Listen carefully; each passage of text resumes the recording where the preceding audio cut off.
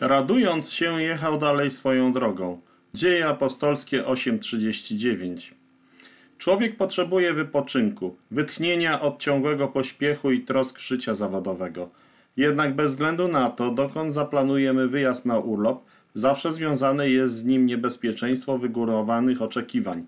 Kto ma nadzieję, że urlop trwale poprawi jego nastrój, a może nawet oczekuje, że zażegna on problemy w związku, w którym obecnie żyje, zwykle musi doznać rozczarowania. Plac budowy obok hotelu, brudna plaża czy niesmaczne jedzenie sprawiają, że szybko tracimy humor, a nawet jeśli nie ma już na co narzekać, również najpiękniejszy urlop nie zaspokoi najgłębszych potrzeb naszego serca. Już dawno temu nawet wielcy uczeni Seneca i Sokrates rozważali tę kwestię w słowach. Zadziwiasz się jak nad czymś niesłychanym, że ani przez Twoją długą, rozwlekłą podróż, ani przez bogactwo zmiennych krajobrazów nie udało Ci się zabić Twego przygnębienia i odkładanego w głębi serca smutku?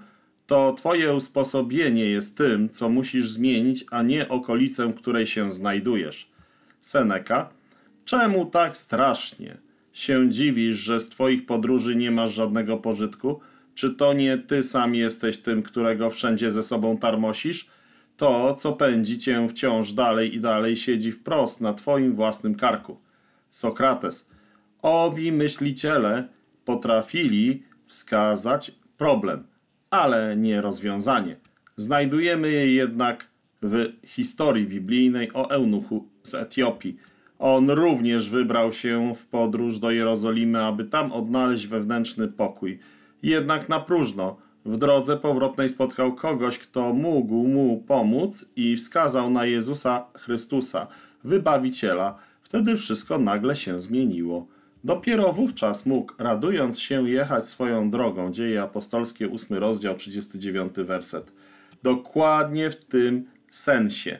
Życzymy z serca także i Tobie naprawdę udanego urlopu.